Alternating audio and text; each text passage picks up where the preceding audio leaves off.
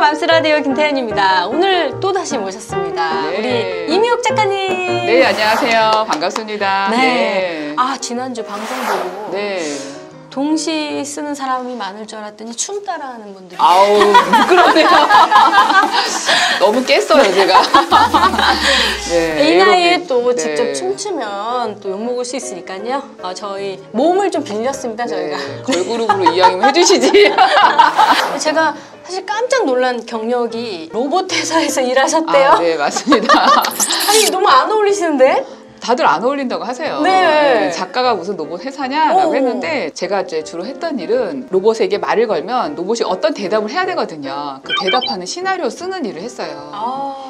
근데 애들이 로봇한테 와서 말을 잘 하지만 뭐 로봇 너 바보 똥개 막 이렇게 얘기하는 애들이 있는 거예요. 그러면 얘 뭐라고 대답해야 되지? 막 이렇게 어. 해서 그래 너도 바보야 뭐 이렇게 한다거나 음. 아니면 로봇의 생명력을 불어주기 위해서 뭐 방구를 끼거나 로봇도 트름을 하거나 뭐 이런 것들 이제 시나리오 쓰고 막 이래서 오. 예 공감하려고 노력을 했습니다. 야 역시 작가는 진짜 할 일이 많아요. 네, 로봇에게 맞아요. 말 대사를 로봇의 마- 써주는 그렇죠. 거. 로봇의 야, 대사죠. 네. 그것도 또 작가가 할수 있는 일이랍니다. 네. 그 일을 하시면서 아 정말 아이들에게 진짜 필요한 것은 땡땡이다라고 깨달으셨다면서요. 네, 맞습니다.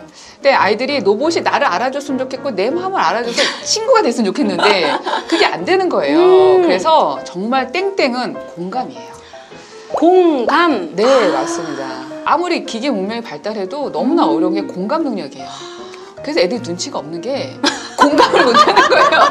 어떤 상황에서 내가 네. 공감을 해야지 그거에 대해서 어. 자연스럽게 하는데 아. 아이가 공감 능력이 없기 때문에 음. 요즘 눈치 없는 애들이 많고요. 정말 죄송한데 눈치 없는 어머님들도 참 많으세요. 아, 네. 아, 조심해야겠네요. 아, 저도요. 네, 네. 근데 이게 맞아요. 상대방 입장을 공감하고 이해해야 아. 되는데 그 마음이 통하는 끈이 이- 필요합니다. 네. 그래서 제가 생각한 거는 음. 공감을 위해서 땡땡이 필요한데 아. 그 땡땡은 문학이에요. 아. 우리가 네. 문학 작품을 읽고 나서 그 주인공이 돼서 막 울잖아요. 음. 네. 그래서 인문학 뭐 이게 뜨는 게 같은 많이 거죠? 하죠. 네, 그런 맥락에서 공감을 하고 인문학적인 소양을 가지고 이제 네. 있어야 되는데 쉽지가 않죠. 왜냐하면 긴 글 읽는 걸 싫어하세요. 음. 엄마도 싫어하시고 아이도 네. 싫어하고 이 시대가 스마트폰의 영상에 뺏겨서 너무너무 힘든 글을 맞아요. 읽는 게 너무 힘들어요. 짤 막 이런 거 좋아하잖아요. 네. 요약한 거. 그렇죠. 네. 어, 제가 이제 시를 한번 소개시켜 드리면 네. 아이들이 공감하는 시가 어떤 건가 아. 가장 공감하는 시 그래서 교과서에도 나온 그 시 한 편을 소개시켜 드릴게요. 네. 꺼지지 않는 컴퓨터라는 시인데요. 네. 요즘의 실상이죠, 뭐. 네. 컴퓨터를 치다가 잤는데 음. 머릿속에 컴퓨터가 꺼지지 않는 거예요. 아, 이런 경우 많죠. 아 맞아요. 네. 요즘은 이제 컴퓨터뿐만 아니라 스마트폰까지 손에 딱 붙어 있어서 네. 아이들이 잠 깨기도 전에 스마트폰을 보고 잠자기 음. 직전까지도 보고 네. 뭐 아이들뿐만 아니라 엄마들도 마찬가지죠. 맞습니다. 네, 어른들도 그렇고 이런 세대가 됐는데 그래서 아이들이 이 시를 읽으면서 아 내 이야기야. 음. 나도 그랬어 음. 라고 공감하는 거죠. 그래서 네. 아이들한테 공감할 수 있는 그런 시를 많이 쓰려고 합니다. 맞아요. 이 컴퓨터는 진짜 특히 스마트폰 끄지도 않고 계속 충전하면서 우리 손에 가까이 있는데 네. 그걸 갖고 또 이제 시를 네, 꺼지지 않는 컴퓨터로. 교과서에도 네. 나온 이 시 한번 한번- 보고 갈까? 아, 네. 네. 네.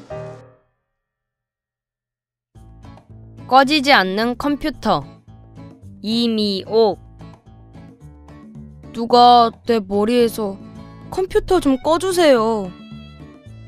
눈을 감아도 꿈속에서도 꺼지지 않는 컴퓨터 화면. 전사들이 번쩍번쩍 계속 싸우고 있어요. 이젠 눈 꼭꼭 감고 잠자고 싶은데 베개 속에도 천장 위에도 번쩍번쩍 컴퓨터 화면이 켜져요. 누가 내 머리에서 컴퓨터 좀 꺼내주세요. 사실 꺼지지 않는 컴퓨터 때문에 사실 네. 정작 피해 보는 거는 우리 가족 그리고 나. 자신이거든요. 네. 우리 소중한 우리 아이가 앞에 있는데 스마트폰 보고 있죠. 네 스마트폰 보고 있는 거예요. 우리 아이는 이 너무 반짝반짝하고 이쁘게 잘 커가는 이 시간을 저는 이 놓치는 게 전 너무 아깝거든요. 맞습니다. 네. 네. 그래서 또 만드신 시각도 네, 너무 있어요. 재밌어요. 네. 발가락 길이라는 어. 이 동시를 한번 소개해 드릴까요? 네. 아이들한테 이 그림을 보여줬어요. 한번 보실래요? 오! 네, 예쁘죠? 네. 이 그림을 보여줬는데 네 살짜리 아이가 뭐라고 대답을 했어요. 뭐라고 자기 경험을 얘기한 거예요. 나 이런 적 있어요라고 얘기한 거예요. 네 살짜리 아이가 어, 뭐라고 그랬을까? 뭐라고 그랬을까요? 어, 상상이 안 가네요. 네 살짜리 아이가 아빠랑 누워서 테레비 보고 있어요 라고 얘기하는 거예요. 음. 여기 분명 텔레비전은 없어요. 아. 네, 텔레비전은 없는데 음. 아이의 입장에서는 이게 테레비 보고 있는 자기의 경험을 얘기하는 거예요. 아빠가 이제 이걸 보고 의견을 내주세요 라고 했더니 어떤 그림 같아 했더니 나는 졸린데 아이들은 잠을 안 자고 있다. 그래서 자기 입장에서 네, 자기 해석하네요. 입장에서 해석하는 네, 그런 네. 게 있었습니다. 네. 이것도 노래를 한번 만들어 봤어요. 어, 그래요. 아 근데 참 노래를 하는 게 네, 이거는 앞 저기 막 곰새 마리로 오. 네. 아, 이불 발가락이 있어. 아빠 발, 동생 발, 내 발. 어. 아빠 발은 시커매 뭐 이런 거 있잖아요. 냄새나 뭐 이런 거. 거. 예, 예. 그 자기 발이 향기나 뭐 이렇게 해갖고 발가락에 대해서 느낌을 어. 아이들한테 글씨를 써서 해서 재밌다. 했는데 조금 고연령인 음. 그 초등학교 5학년 아이들한테 아빠 발에 대해서 냄새가 어떠냐 했더니 식 초 냄새가 난다는 의견이 많아서 저는 깜짝 놀랐어요. 네, 그래서 아빠 그- 신발에 식초 있다? 네, 막 그런가. 그래서 다양하게 그림을 가지고 정말 네, 네 살서부터 어. 초등학교 아이들 고학년까지도 네. 이 그림을 해석하고 느끼는 거를 노래 불러서 내가 이 안에 주인공이 돼서 공감하는 거죠. 이 시대에 우리가 변하지 않아야 될 게 하나 있는 거예요. 그게 공감 능력이고 네. 그게 21세기에 우리 아이들이 지켜나가야 음. 될 미래 인재상이 아닌가 싶습니다. 그래서 그 공감 능력- 능력을 기르기 위해서 음. 어, 시를 많이 읽고 네. 또 시와 관련된 그림을 가지고 자기가 음. 주인공이 돼보는 그런 네. 놀이를 해보면 어떨까 싶습니다. 이 어. 시도 한번 감상해 볼까요? 네, 너무 네. 좋은데요? 네. 들어보겠습니다. 네. 발가락길이 꼼지락 꼼지락 귀여운 발꼬락. 내 동생 발꼬락. 울꼬락 불꼬락 커다란 발꼬락.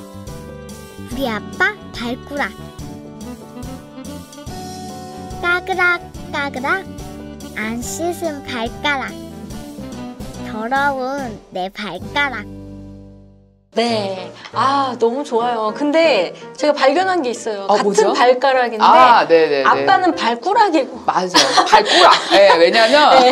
아이는 발꼬락. 어, 귀여운 발꼬락. 아빠는 커다랗게 발꼬락, 꼬락꼬락 이러냐 아, 울컥불컥 이제 그런 느낌. 냄새 네, 그런 느낌도 좀 넣었습니다. 네. 단어예요. 네. 아, 너무 재밌네요. 그리고 내 발가락은 음. 더러운 발가락. 발가락. 네, 더러워. 밤새 놀았기 때문에. 네. 이거 하나로도 노래 부르면서 가족끼리 네. 아빠 발, 엄마 발, 또내 아이 발, 발 네. 하면서 정서적으로도 네, 네. 아, 교감할 수 있어요. 또 이거를 이제 이 액자가 있어요. 어. 네, 발가락길이라는 동시를 가지고 음. 아이들 느낌대로 쓰는 거예요. 아까 얘기한 것처럼 음. 아빠 입장에서는 아 좀 잤으면 좋겠는데 이것들이 왜 안 자? 뭐 이런 것도 있고요. 아, 또 다른 시를 쓸 수 있네요. 네네네. 그리고 이 네 살짜리 입장에서는 아 테레비 아빠랑 보고 있던 그런 테레비가 생각이 나요. 그렇게 간단하게 써서 아. 제목을 적고 지은이 자기 이름 적어서 서울 도서관에 이거 써갖고 오시면 네. 작품의 질과 상관없이 다 전시를 해드립니다. 네, 오셔서 좋은 동시도 쓰시고 아이들 동시도 전시에 하면 아이에게 좋은 추억이 될 것 같습니다. 그리고 한 가지 그림으로 어 쟤는 저렇게 생각했네. 아 이 친구는 이렇게 생각했구나. 음. 그래서 저희가 한 가지 그림으로 다양하게 해석하는 여러 가지 이야기를 듣는 이유가 공감을 하는 거예요. 그런 차원에서 지금 준비를 하고 있습니다. 네. 네. 어, 너무 기대됩니다. 네. 자세한 내용, 포스터, 그리고 신청은 그 아래 설명이 나와 있으니까요. 아. 관심 있는 분들 꼭 미리 보시고요. 네. 엄마랑 같이 시도 한번 써보고, 네. 어, 나에게 이런 능력이, 네, 발견할 수 있거든요. 네. 나도 한번 작가가 돼봐? 뭐 이렇게 네. 꿈을 네. 꿔봐도 좋을 것 같습니다. 네, 네. 아, 너무 재밌습니다. 네. 우리 또 춤으로 마무리해야죠. 아, 그럴까요? 아, 그거 매주 치나요? 다시 한번 한번 마무리해볼까요? 아, 네, 알겠습니다. 네. 네. 동시팝 임용 작가님과 함께 K-팝, 동시팝, 가자!